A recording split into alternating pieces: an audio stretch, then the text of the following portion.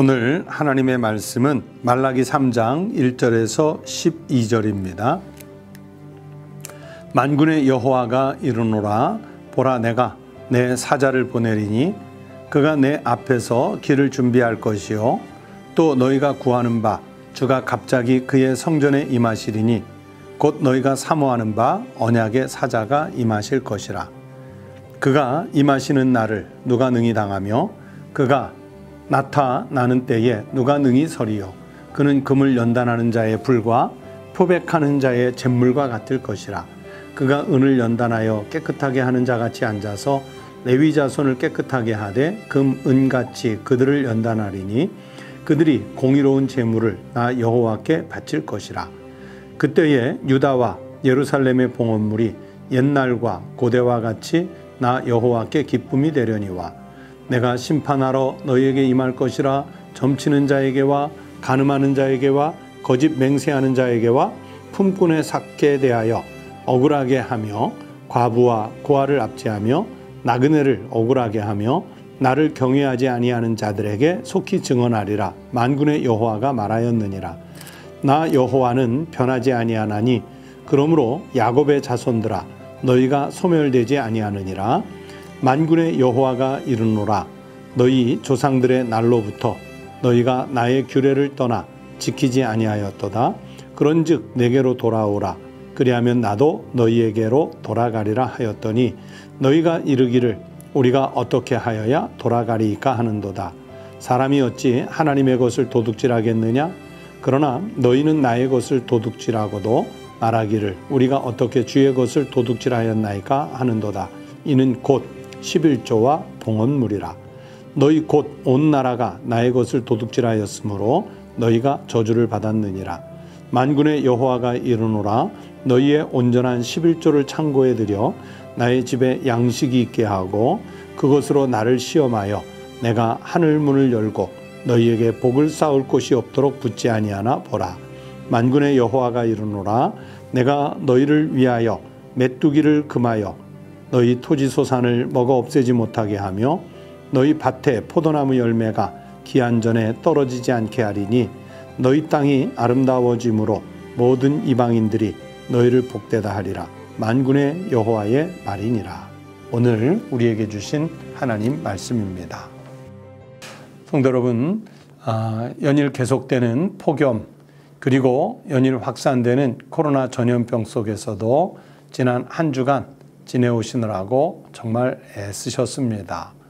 아, 우리가 어, 여전히 긴장의 끈을 놓을 수 없는 때인데 여러분 그때 우리가 사회적 거리두기 또는 방역 수칙 이런 것들을 좀 잘 긴장감을 갖고 지키셔서 어, 여러분 자신을 보호하시고 또 가정과 교회 일터가 하나님 은혜 가운데 강건하게 잘 보존되실 수 있기를 바랍니다.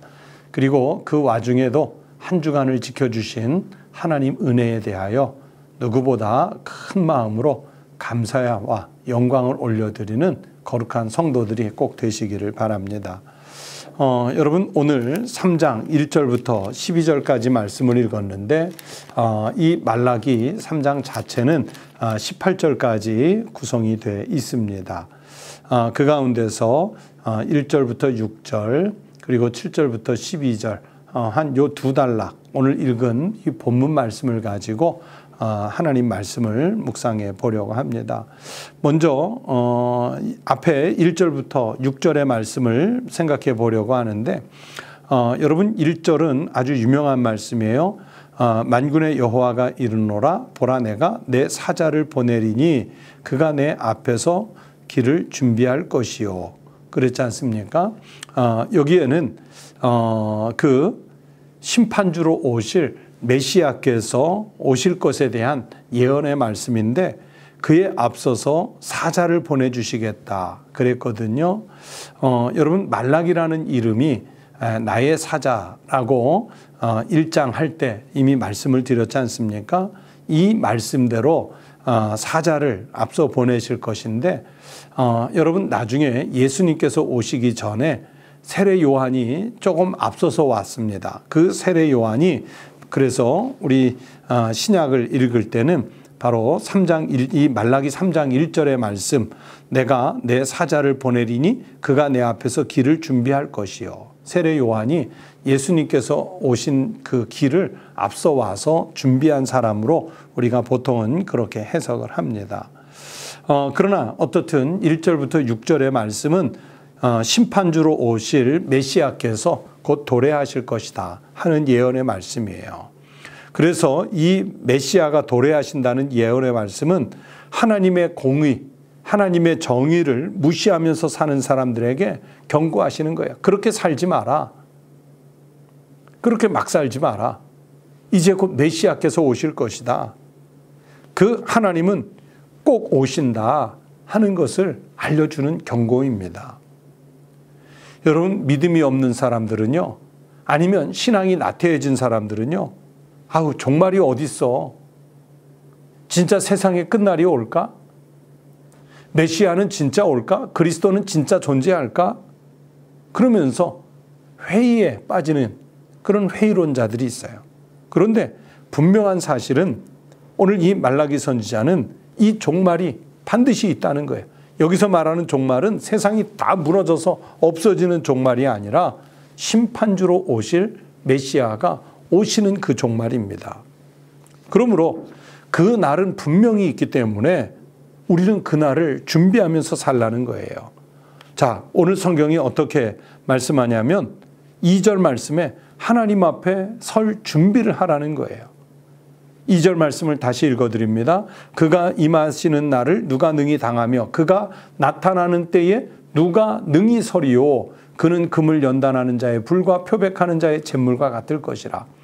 하나님 앞에 설 때가 분명히 있을 것인데 하나님 앞에서 제대로 설 수 있는 사람이 많지 않다는 거예요. 그래서 그 앞에 누가 능히 서리요? 우리는 이 말씀을 읽었기 때문에 또 예수 그리스도의 재림의 약속을 믿기 때문에 여러분 우리는 오늘 이 성경의 말씀대로 하나님 앞에 설 준비를 하고 살아야 됩니다. 또 그날을 준비하는데 3절 말씀에 보면 어떻게 준비하느냐? 깨끗하게 하되 그 말씀이 나오죠. 3절에 은을 연단하여 깨끗하게 하는 자 같이 앉아서 레위 자손을 깨끗하게 하되 그랬어요. 자신을 정결하게 하고 하나님 앞에 공의로운 재물을 바쳐가면서 자기가 할 수 있는 정결한 삶을 유지해야 한다는 것입니다.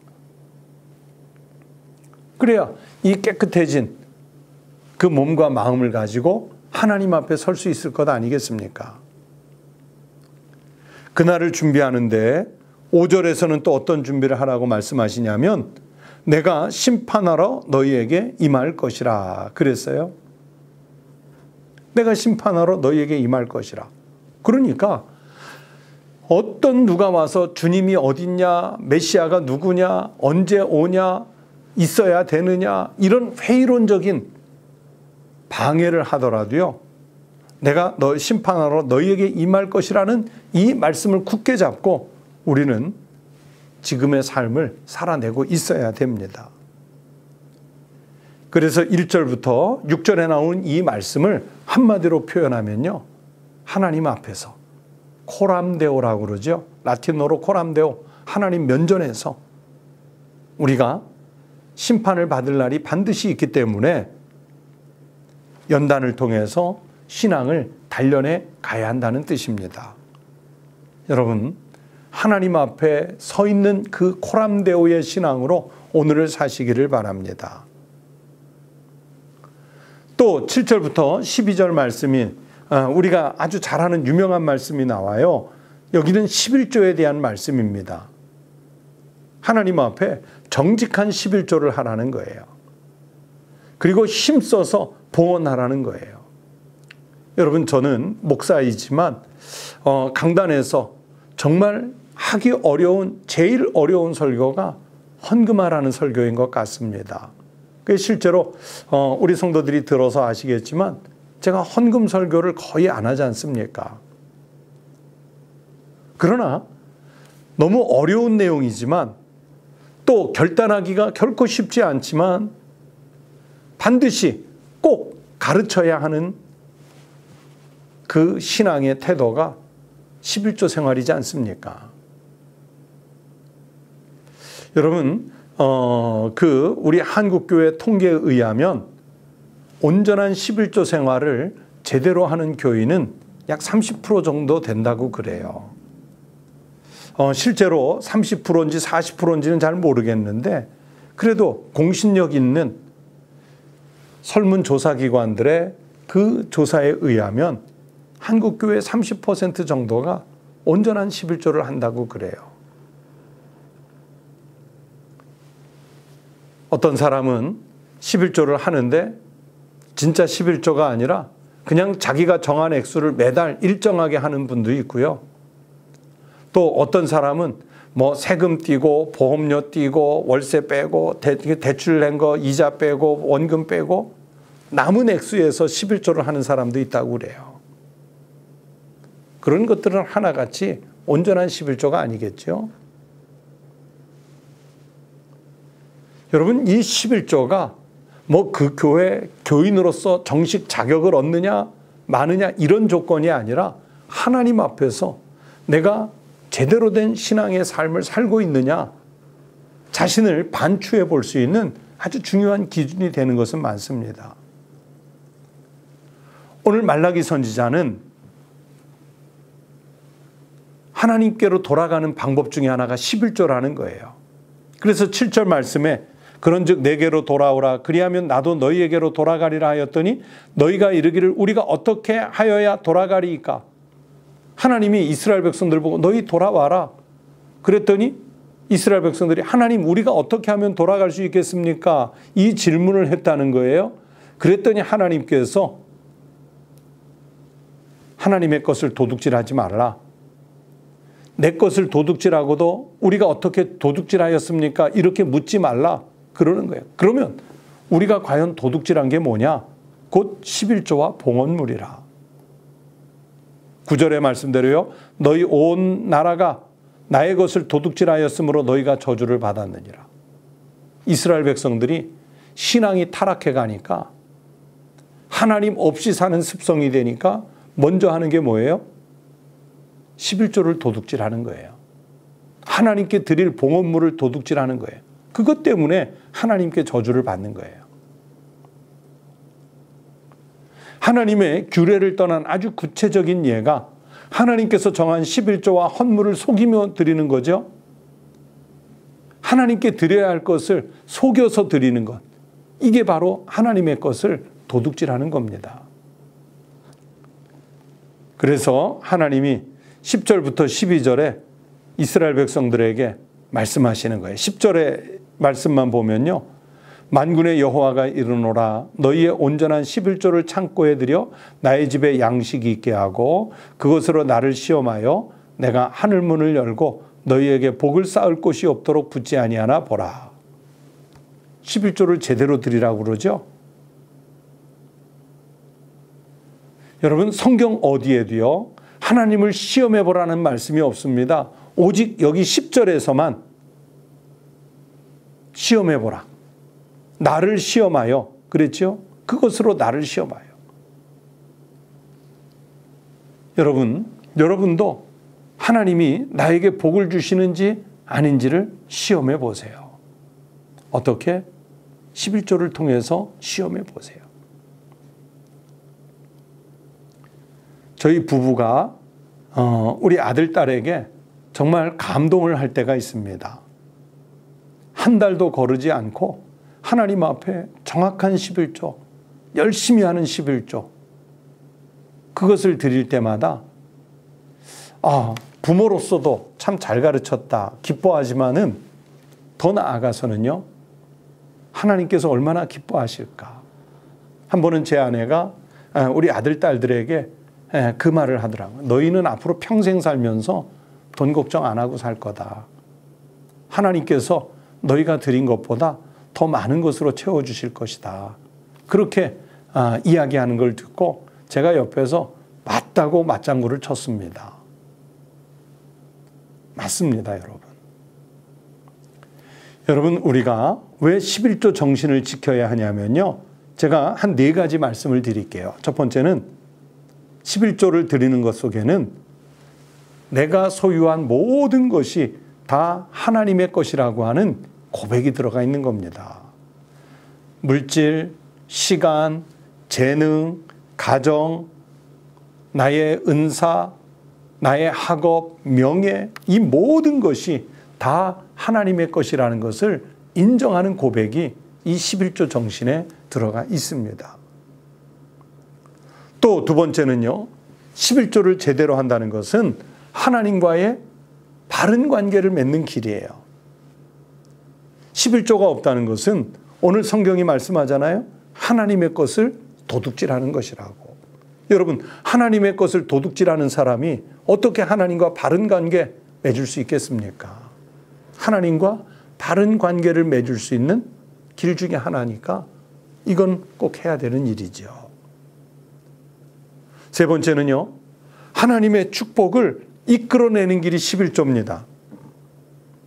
10절, 11절. 아까 10절에서도 조금 읽어드리다 말았는데 뒷부분에 보면 그것으로 즉 11조로 나를 시험하여 내가 하늘문을 열고 너희에게 복을 쌓을 것이 없도록 붙지 아니하나 보라. 11조 잘 드리는 사람에게 하나님이 어떻게 복을 주시는지 한번 시험해 보라는 거예요. 또 11절에 만군의 여호와가 이르노라 내가 너희를 위하여 메뚜기를 금하여 너희 토지 소산을 먹어 없애지 못하게 하며 너희 밭의 포도나무 열매가 기한 전에 떨어지지 않게 하리니 11조 제대로 하는 사람들에게 하나님은 기업을 지켜주신다는 거예요. 농토를 지켜주신다는 거예요. 재정을 지켜주신다는 거예요. 삶을 지켜주신다는 거예요. 제대로 된 11조 생활, 하나님의 축복을 이끌어내는 길입니다. 끝으로 네 번째 11조 정신은 모든 이방인들이 그리스도인들이 복받는 것을 보게 되는 축복의 통로입니다. 12절 말씀을 읽어드립니다. 너희 땅이 아름다워짐으로 모든 이방인들이 너희를 복되다 하리라 만군의 여호와의 말이니라.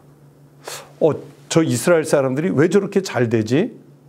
저 그리스도인들이 왜 저렇게 아름답게 살지? 아하, 저들이 11조 하는 사람들이다. 하나님의 것을 하나님께 제대로 드리는 사람들이다 하는 것을 이방인들이 보고 모든 이방인들이 너희를 복되다 하리라. 이렇게 인정을 받게 되는 거예요. 여러분, 인생의 진정한 축복은요, 하나님과 함께 하면서 하나님과 동거하고 하나님과 동행하는 삶인 줄로 믿습니다. 여러분, 제가 오늘 11조 이야기를 했다고 해서 헌금만 잘해라. 그 뜻이 결코 아닙니다. 앞에 조금 말씀드린 대로 내가 소유한 모든 것이 다 하나님의 것이라는 고백과 함께 여러분의 시간, 여러분의 재능, 여러분의 물질, 여러분의 은사, 여러분의 학업적 능력, 여러분의 경험, 이 모든 것을 다 하나님께 드리고 사시기를 바랍니다. 그래서 심판주로 오실 메시아의 나라가 도래하면 하나님 앞에서 당당하게 온전하게 설 수 있는 그런 믿음의 삶의 축복이 있으시기를 우리 주님의 이름으로 축원합니다. 기도하겠습니다. 하나님 아버지 감사합니다. 이스라엘 백성들이 메시아가 속히 오기를 손꼽아 기다리며 살았던 것처럼 오늘 우리도 주 예수여 어서 오시옵소서. 그렇게 주님 나라 이 땅에 오실 날을 손꼽아 기다리며 사는 우리 재림의 신앙을 갖고 사는 거룩한 백성들이 되게 하여 주시옵소서. 주님이 우리에게 도래하실 때까지 우리가 이 땅에서 살면서 하나님 내가 가진 전부를 다 하나님의 소유로 인정하여 우리가 하나님께 드릴 것을 온전히 드리고 살게 해 주시옵소서. 재물의 11조를 온전히 드릴 수 있게 하시고 주신 시간에 대한 11조 또 아버지 하나님 은사에 대한 11조 우리가 살면서 살아 만나는 모든 것에 11조를 하나도 놓치지 않고 주님께 제대로 드리고 사는 믿음의 사람들이 되게 하여 주시옵소서. 하나님 그래서 주님께서 마지막 도래하셔서 심판하실 때 잘했다. 착하고 충성된 종아. 그렇게 우리의 신앙을 칭찬하는 축복을 누리게 해 주시옵소서. 하나님 저 북녘 땅에 우리 동포들 그리고 지학교의 우리 형제 자매들 기억해 주시고 저들에게 하나님 은혜가 넘쳐나게 하여 주시옵소서. 선교지에 있는 우리 선교사님들과 그 가정과 선교지를 지켜 주시옵소서. 내일 거룩한 주일에 우리 교회와 한국 교회가 온전히 하나님께 예배하는 날로 삼게 해 주시옵소서. 우리 주님께 감사드리며 예수 그리스도의 이름으로 기도하옵나이다. 아멘. 토요일 아침에 같이 기도하실 제목 몇 가지 나누겠습니다. 첫 번째는 오늘 말라기 3장의 말씀을 생각하시면서 내가 가진 전부를 다 하나님의 것이라고 그렇게 고백할 수 있는 용기 그리고 하나님이 내게 주신 모든 것에 11조 신앙을 가질 수 있게 해달라고 그런 믿음의 용기를 다 주시라고 기도하겠습니다. 두 번째는 저 북한 땅의 동포들을 위해서 기도해 주십시오. 이념의 노예에서 빨리 벗어나 신앙적으로 또 정치적으로 또 경제적으로 모든 삶의 영역에 있어서 자유를 획득할 수 있도록 위해서 기도해 주시고 특별히 지학교의 우리 형제 자매 그리스도인들에게 마음껏 주님께 예배할 날을 허락해 주시라고 기도해 주시기 바랍니다. 세 번째는 주일을 앞두고 우리 한국교회 부흥을 위해서 기도해 주시고 어, 특히 어, 수도권 지역은 여전히 비대면 온라인 예배를 드리는데 그 중에서도 하나님의 특별한 은혜의 역사가 일어나게 해달라 기도해 주시고 또 우리가 드리는 이 대면 예배가 잘 지켜질 수 있도록 위해서 기도해 주시고 우리 한국교회 예배 회복을 위해서도 기도해 주시기 바랍니다. 이런 기도 제목들로 다 함께 기도하겠습니다.